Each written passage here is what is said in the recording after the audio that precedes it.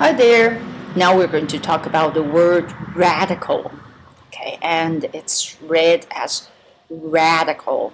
Okay, and uh, in our book, actually, uh, uh, it is used as a noun. Okay, and it means something that is chemical. It's a chemical stuff, and um, uh, it's kind of a uh, molecule. A molecule. You may ask, what is a molecule?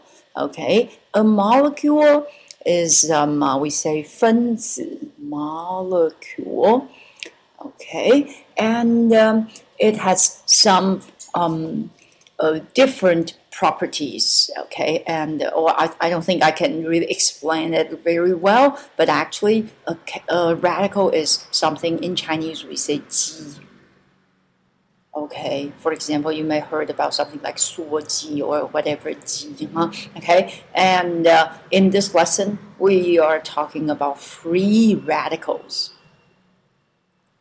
Okay, or in Chinese we say 自由基. Okay, and here is a diagram or a picture to show the theory. Yeah, to show, uh, to explain why they say uh, the free radicals cause us uh, make us um, age or uh, make us um, get older more quickly. Okay, when you have too many free radicals in your body, when you, for example, uh, eat the wrong thing, or when you are too tired, or um, there are so many things that you can do to produce more free radicals, and then the free radicals uh, they make us uh, they make us get older, okay? And that's the problem with free radicals, okay? So, and um, so uh, in this lesson, it's actually about something chemical that can affect our body, okay? And of course, a radical can be a person.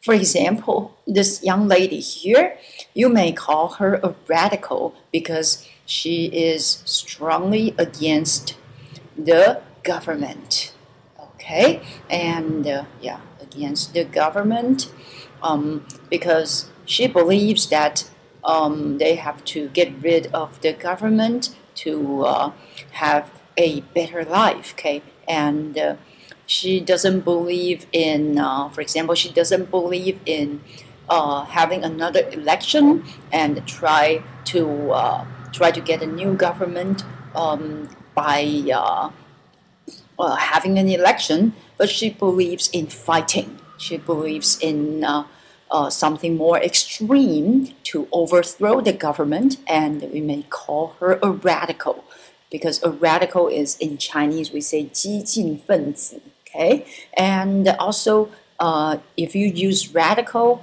uh, as an adjective, it's also the same thing. Okay, it uh, means that uh, having it means having very extreme ideas or extreme principles. For example, uh, what uh, you may ask, what do you mean? For example, as we just said, if you want to change something, some people they prefer uh, gradual change, change step by step. But some people they believe in a, a kind of a very sudden and a very large, a very big change. And for those people who believe in a sudden and big change, okay, they think only something like this can work. We can uh, we can call these people radical because uh, they want something uh, that is really really basic and that changes overnight. Okay, and that is to be radical. Okay, we say 激进的. Okay, they don't want a very slow change. They want a quick change, a sudden change. Okay, well, and um, well, what do you think? Okay, I'm not sure which one is uh, which one is better. I think it depends on a different society. Okay, but uh, from my observation, I would say there are not so many people with radical thinking and radical action in uh, our society in Taiwan. Huh? Okay, so uh, is it something good? Well, I'm not sure. I think we can think about that. Okay, uh, maybe I think maybe it's good to be a radical from time to time. Why not? Okay, so so much for the word radical. See you next time. Bye.